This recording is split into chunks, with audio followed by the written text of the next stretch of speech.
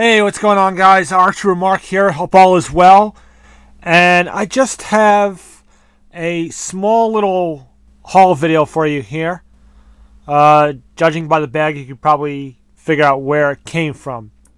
Uh, was able to go to Target today and actually managed to find a couple of somewhat new pieces. So first, first is uh, these new uh, action figure sets. So these have been out for a little while, a few weeks at least.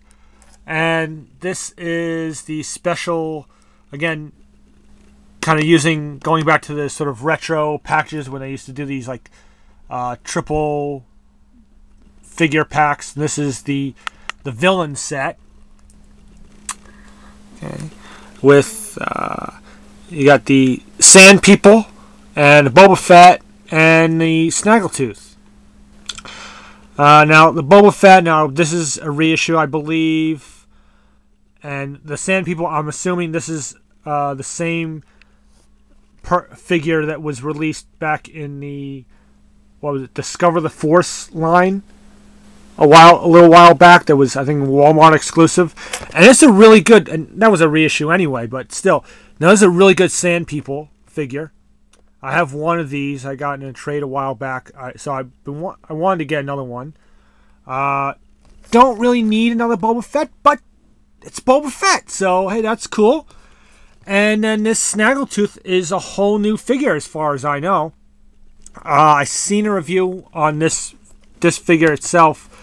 Uh, I believe FlyGuy.net did a review on this. This is ba- this is basically a vintage collection version of the the snaggletooth. You know, uh, if I remember correctly from the review, it's got all your vintage collection articulation.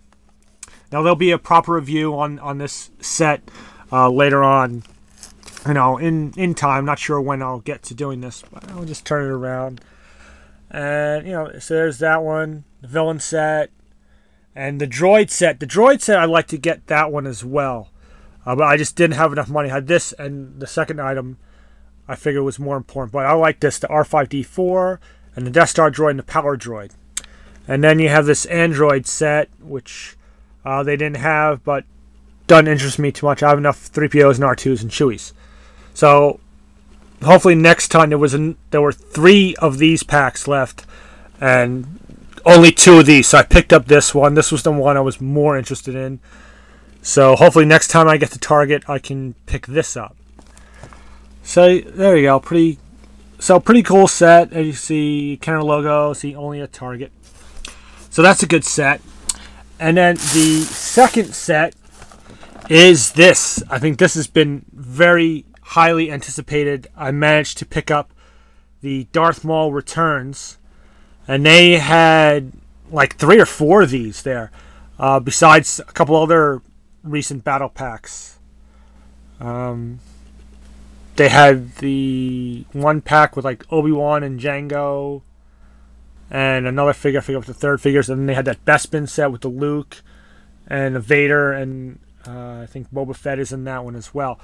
But this, and again, I'll there'll be a proper review on this, but I've seen one review on this already, and this is without a doubt probably the best battle pack to come along in a long time. You have um, the, of course, the Darth Maul with the cyborg uh, legs, and you have the Night Sister again, based on Mother Talzin, but um,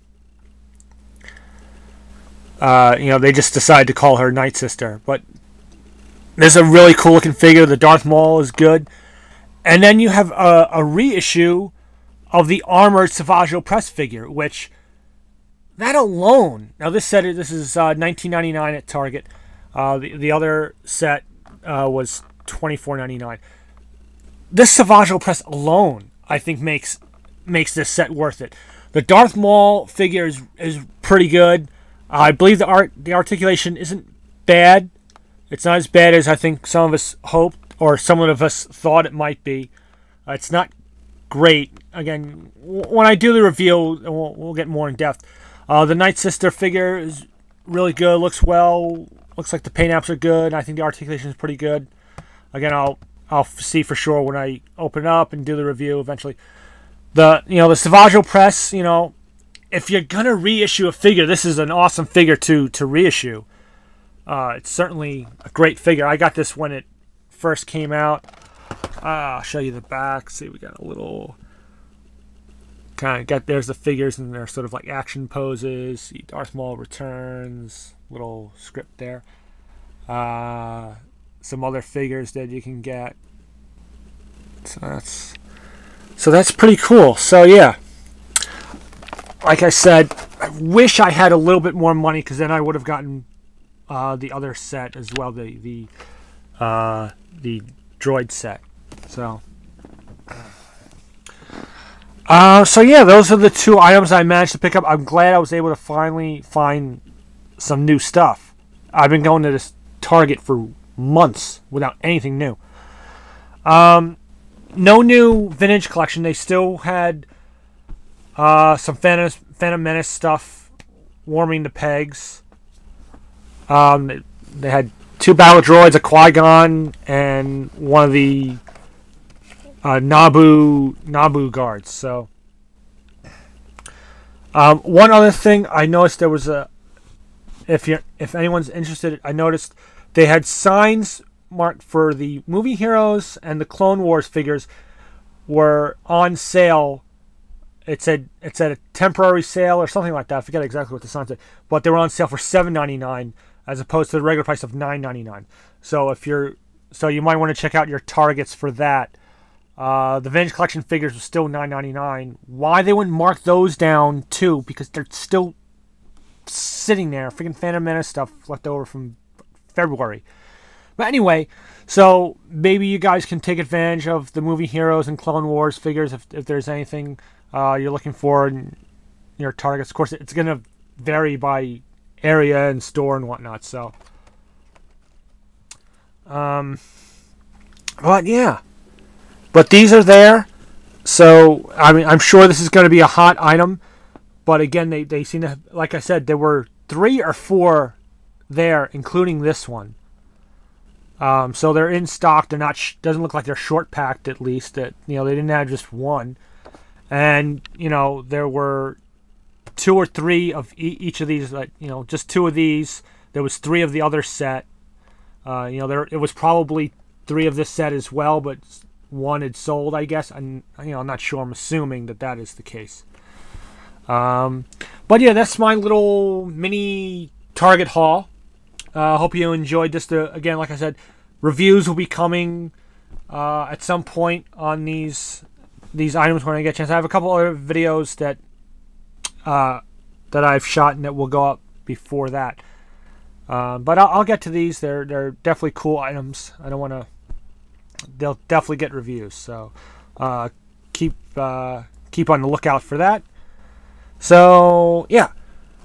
So until my, I will let you guys go into my next video to whether it's a haul or a figure review. I also have some trades that I managed to do based off my trade video. So I'll have some uh, unboxing videos coming uh, with that stuff. So I got, so I got some, so I got some stuff coming on the horizon now. So uh, yeah, that's about it.